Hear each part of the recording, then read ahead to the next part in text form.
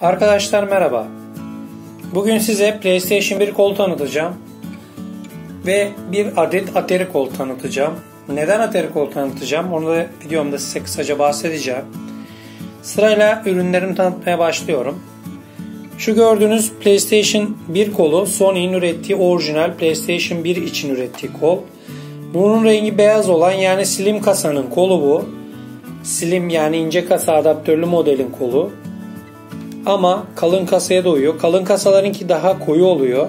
Bunu da belirteyim size. Bu ince olanların. Bakın orijinal olduğunda şuradan göstereyim. Şöyle. Bunların Malezya üretimleri de çıkabiliyor. Japon üretimleri de çıkabiliyor. Birlerde. Onu da belirteyim size. Bu alttaki de yine PCX markasının Sony PlayStation 1 Slim için ürettiği veya bir kalın kasa için ürettiği kol. Rengi açık beyaz. Bunların koyu beyazları da var.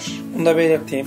Bu PCX'in ürettiği kolun analogluları da var. Analog dediğimiz olayı da anlatayım. Analog dediğimiz olay şu iki oyunu oynamak için kullanılan joystick şeklindeki aparat analog oluyor.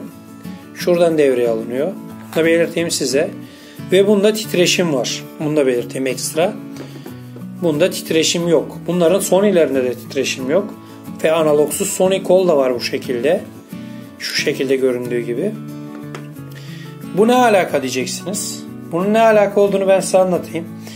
Sony çıktığı zamanlarda gerçekten ün saldı. Reklamını iyi yaptı. Sega ve Nintendo'yu solladı üretimi zamanında. PlayStation 1'ler ile Sega, Nintendo gibi firmaların önüne geçti. Onun için tanıtacağım. Yani mesela örnek verirsem Nintendo'nun 8 bit Atari'lerinin çakmaları, klon olanları işte Microgenius üretti, GameStar diye bir firma üretti.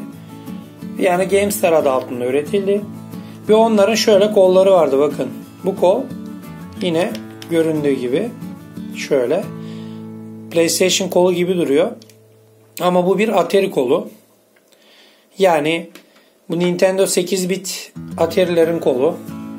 Çakmalarının kolu. Orijinallerinde de çalışıyor. Yani alaka bu alaka. Yani PlayStation'ın albenisi reklamı güzel olduğu için benzettiler. Hatta farklı videolarımda çekmeyi düşünüyorum sizin için. PlayStation 1'in ince kasasının aynı şekilde kasetli Atari'sini yaptılar. O kadar abarttılar. Kalın kasasının yine aynı şekilde Atari'sini yaptılar. Yani kasetli Atari yaptılar. Öyle söyleyeyim size. Ve o dönemde gerçekten PlayStation Sega'yı ve Nintendo'yu solladı bu haliyle. Ha bana göre Nintendo da gerçekten efsane oyunlar yaptı. Sega da gerçekten efsane oyunlar yaptı. Ve kaliteli oyunlar üretti. Yani her ikisi de üçüncüsü Sony bu sonradan eklendi. Hatta bunların yanına ekstradan sonradan Xbox eklendi Microsoft'un ürettiği. Ama bunlar gerçekten efsane oyunlar, efsane cihazlar üretti.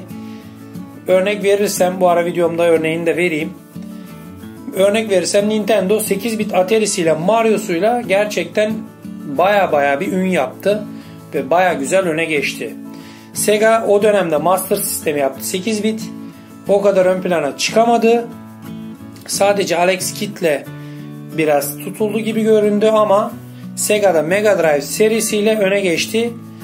Onu da öne geçiren efsane oyunu Sonic oldu ve Street of Rage oldu bana göre. Ben şahsen Sonic ve Street of Rage oyunlarını beğeniyorum. Sega'nın son dönemlerine doğru ürettiği oyunlarda Sega için üretilen oyunlarda öyle söyleyeyim. Earthworld Jim oyununun görüntü kalitesi ile PlayStation 1'de üretilen Earthworld Jim oyunun görüntü kalitesi neredeyse aynıydı düşünün. Bir tanesi kartuş oyunu, bir tanesi CD'de ürettiği yani CD okuyan bir cihazın oyunu. Yani Sega Saturn'dan bahsetmiyorum. Mega Drive'dan bahsediyorum. Bir veya iki fark etmiyor. Zaten kartuşlar ikisi de okuyordu. Düşünün. Ama PlayStation gerçekten ün yaptı. Reklamını iyi yaptı.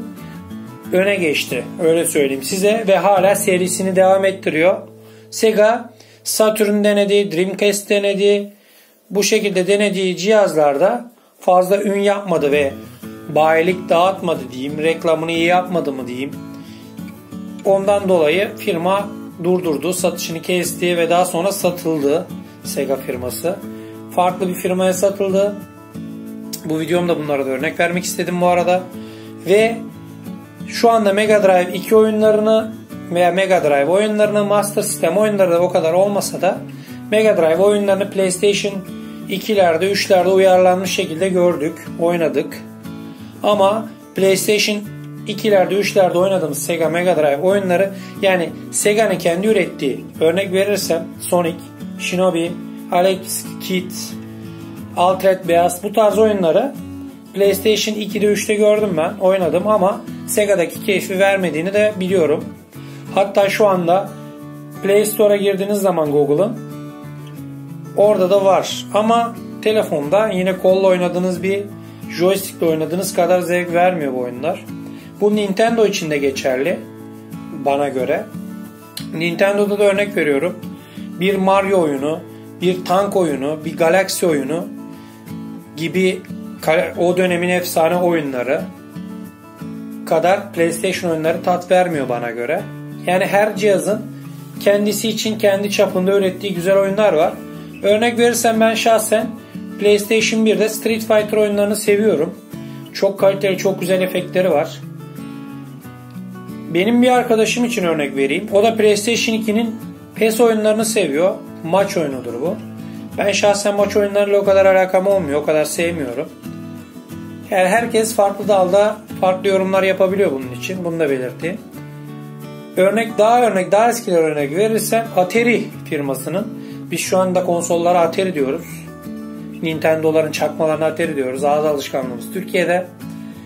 Bu Atari firmasının ürettiği en ünlü oyunlardan biri Pac-Man. Atari firmasını öne çıkardı. Mesela yani her dönemin kaliteli efsanevi konsollarının firmalarının ürettiği kaliteli oyunlar var. Ama yeni versiyonları eski versiyonları kadar tat vermiyor bana göre. Bunu da size bu videomda anlatmak istedim. Videomu uzattım kusura bakmayın. Yeni ve farklı videolarda görüşmek dileğiyle şimdilik hoşçakalın.